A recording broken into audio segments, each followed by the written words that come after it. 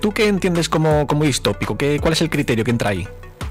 Distópico, pues sería cualquier historia ambientada en un, en un futuro, un universo alternativo en el que todo ha ido mal, en el que la gente vive oprimida, se sufre mucho, eh, cualquier eh, historia pesimista sobre el futuro. en, este, en este caso, lo, lo distópico es eh, sinónimo de futurista o no tiene por qué? Sí, ¿no?